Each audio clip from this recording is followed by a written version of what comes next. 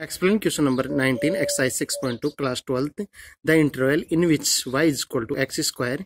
dot e power of minus x is increasing is a minus infinite to infinite, b minus 2 to 0, c 2 to infinite, d 0 to 2. Solution start. We have y is equal to x square e power of minus x. So differentiate with respect to x dy upon dx is equal to first x square derivation is two x and e power of minus x take constant so e power of minus x minus and plus x square take constant e power of minus x derivation is minus of e power of minus x so minus x square e power of minus x so take here x into e power of minus x take common so divide d x is equal to x e power of minus x bracket of two minus x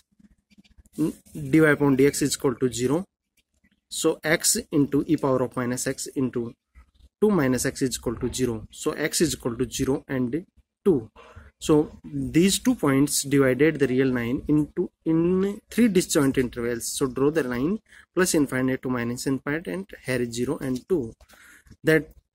that points 0 is x is equal to 0 and x is equal to 2 divides the real line into three disjoint intervals first minus infinite to 0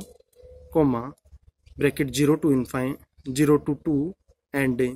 third bracket 2 to infinite. In the in interval 0 to 2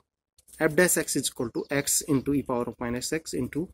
bracket of 2 minus x is greater than 0 means only this interval f dash x is greater than 0 other interval is less than. So therefore the function is increasing in the interval 0 to 2 so answer is d. That is the solution